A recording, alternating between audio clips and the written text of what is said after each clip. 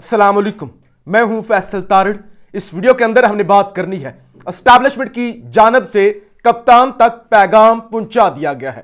तीन बड़े मुतालबात खान साहब के सामने रखे गए हैं कि अगर ये तीनों मुतालबात आप मान लेते हैं तो फिर हम आपके मुतालबात मान लेंगे और हम इलेक्शन की तरफ़ जाने के लिए तैयार हो जाएँगे और ऑपरेशन रजीम चेंज को ब्रेकें लग जाएँगी।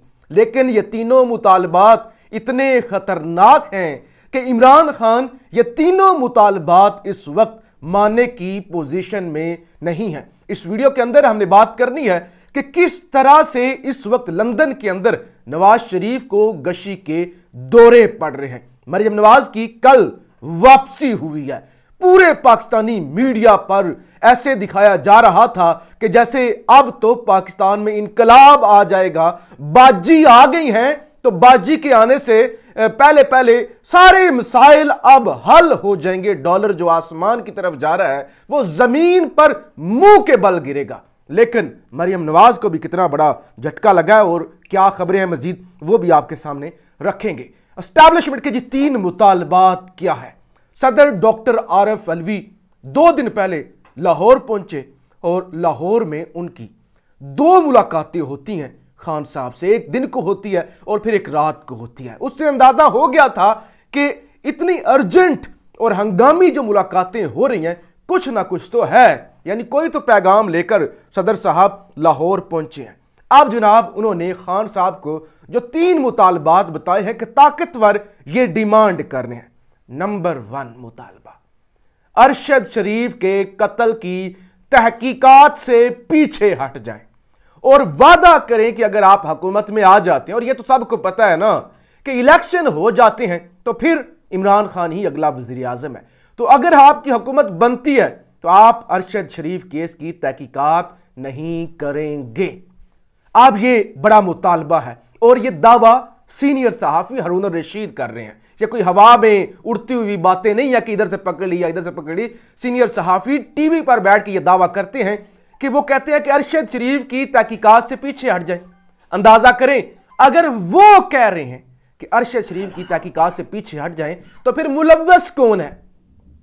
यानी ये बड़ा सवाल है कि अगर वो मुतालबा कर रहे हैं कि आप अरशद शरीफ की तहकीकात ना करवाएँ, इसका मतलब यह है कि साफ़ तौर पर वो बता रहे हैं कि हम मुलवस हैं, हम फड़े जाएँगे, हम पकड़े जाएँगे, इसलिए आप पीछे हट जाएँ। इमरान खान, क्या ये मुतालबा मानेंगे? अगला मुतालबा क्या है? नवाज़ शरीफ को माफ़ कर दिया जाए। हम नवाज़ शरीफ को वापस लाने लगे हैं, लाना चाहते हैं। आप उस हवाले से कोई कैंपेन ना करें, बल्कि उसको हम मैदान में उतारते हैं। आप भी मैदान में हूँ, कर ले मुकाबला, हम बीच में नहीं आएँगे। नवाज़ शरीफ को माफ़ कर दो, उसने जितनी चोरियाँ की हैं जो कुछ उसने किया है, जो ड्रामा किया है, जो झूठ बोल के वो मुल्क से भागा था, उन सारी चीज़ों को छोड़ दें और माफ़ कर दें। तीसरा मुतालबा ताकतवरों का यह है कि साइफर, अमरीकी साइफर जो आया था, उसकी तहकीकात से पीछे हट जाए। उसकी तहकीकात का मुतालबा छोड़ दें, उसकी तहकीकात हुकूमत में आके ना कराएँ। तो ये तीन बड़े मुतालबात हैं जो इस्टेब्लिशमेंट की जानब से खान से किए जा रहे हैं सीनियर सहाफ़ी रून रशीद के मुताबिक। अब हरून रशीद साहब एक और दावा भी करते हैं। वो कहते हैं, इमरान खान ने तीनों मुतालबात मानने से इनकार कर दिया। उन्होंने कहा, मैं इस पोजीशन में नहीं हूँ कि अरशद शरीफ के कत्ल को माफ़ कर सकूँ। मैं इस पोजीशन में नहीं हूँ कि मेरे मुल्क के खिलाफ इतना बड़ा मुल्क, एक आलमी ताकत साजिश करे और मैं चुप करके बैठ जाऊँ और एक सर्टिफाइड चोर को अगर मैं माफ़ कर दूँ फिर मेरे बयानिए में कौन सी जान रह जाएगी? मेरे नज़रिए में कौन सी जान रह जाएगी? फिर मेरी पार्टी का क्या फ़ायदा? मेरे, मेरी मेरी इस जो छब्बीस, सताईस साल कैंपेन है, उसका क्या फ़ायदा? तो मैं ये करने की पोजीशन में नहीं हूँ। अब जब इमरान खान ने किया है इनकार, उसके बाद हुआ क्या है?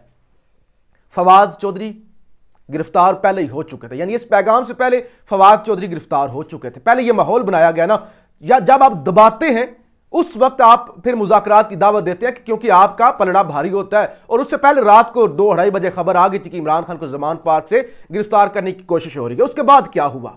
सिक्योरिटी वापस ले ली गई। उसके बाद क्या हुआ कि मजीद मुकदमा दर्ज होना शुरू हो गए। वो डाक, डाके का मुकदमा बन गया। जो आपके फरूख हबीब साहब हैं, हमाद अजहर पर मुकदमा बन गया। और मजीद मुकदमात और फिर वो जुडिशल होकर एक दफ़ा जुडिशियल होकर जुडिशियल हो जाए तो फिर आप जमानत के लिए अप्लाई करते हैं। जुडिशियल होकर दोबारा से दो रोजा जिसमानी रिमांड फवाद चौधरी का मिल गया और अब उनको लाहौर ले जाया जा रहा है। वहाँ उनकी एक फ्रांसिक लैब के अंदर टेस्ट करवाए जाएँगे, मुआयना किया जाएगा तो वो लाहौर उनको पुलिस, इस्लामाबाद की पुलिस लेकर जा रही है। और फिर उसके बाद ये हुआ कि लाहौर हाईकोर्ट बुलाती रही। और किसी ने नहीं सुनी और लाहौर हाईकोर्ट फिर खुद ही इससे पीछे हट गई। यानी जब इमरान खान ने मुतालबात मानने से इनकार किया तो फिर उन्होंने कहा कि अब अब अब अब फिर हम तुम्हें देख लेते हैं। हम देखते हैं कि कितना, कितनी देर तक तुम हमारे सामने टिक सकती हो। तो ये इस वक्त जो एक सख्ती आई है, जो एक नई वेव शुरू हुई है, गिरफ्तारियों की, उसके पीछे बड़ी वजह यही है कि इमरान खान ने ये मुतालबात मानने से इनकार कर दिया अब जनाब आज से दो तीन महीने पहले दस रुपये पेट्रोल महँगा हुआ था। और खबर ये आई थी, बल्कि खबर क्या आनी थी, मरियम नवाज़ ने ट्वीट कर दिया था।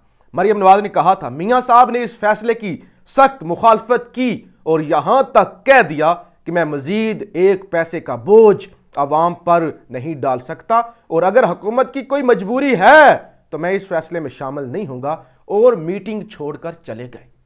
दस रुपए मिफ्ता इस्माइल के इजाफे पर अगर कोई शख्स मीटिंग छोड़ के जा सकता है तो पता करना चाहिए। पता करना चाहिए, पैंतीस रुपए के इजाफे पर कहीं मियाँ साहब जंगलों की तरफ़ ना निकल गए हूँ, कहीं क्यूबा की तरफ़ ना चले गए हूँ, कहीं अमेजोन के जंगलों की तरफ़ वो जाके वो पागल ना हो गए हूँ।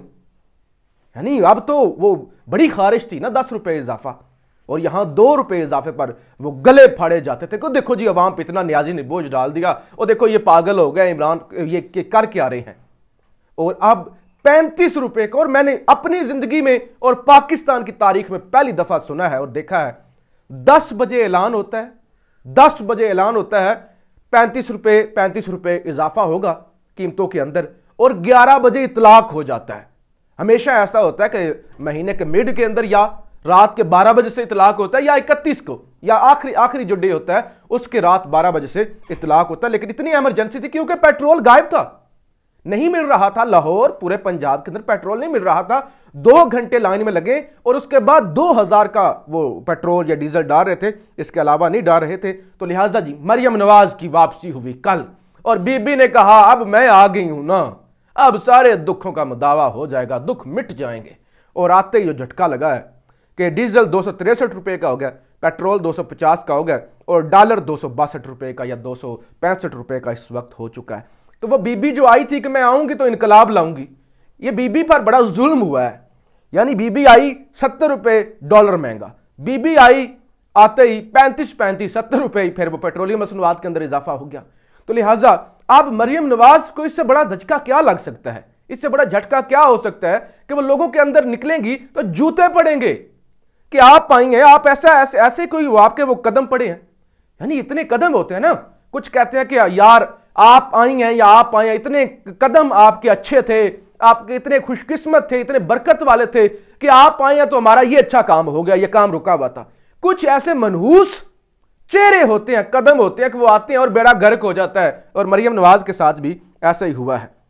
आप जी फवाद चौधरी को लाहौर ले जाया जा रहा है। फैसल फरीद चौधरी साहब ने ये बयान दिया है। हमें खदशा है कि फवाद चौधरी पर तशद किया जा सकता है। तो ये तशद का भी फवाद चौधरी पर खदशा मौजूद है और इस वक्त सूरत हाल ये हो गई है कि हामद मीर समेत और बाकी सहाफ़ी जो हैं, वो भी इमरान ये इनके अगेंस्ट बोलना शुरू हो गए हैं। और यहाँ तक इवन इवन इवन ये सना बुच्चा साहबा ने कह दिया कि मरियम नवाज़ का सब्र का लेवल बहुत कम है और गुस्से की बहुत तेज़ है।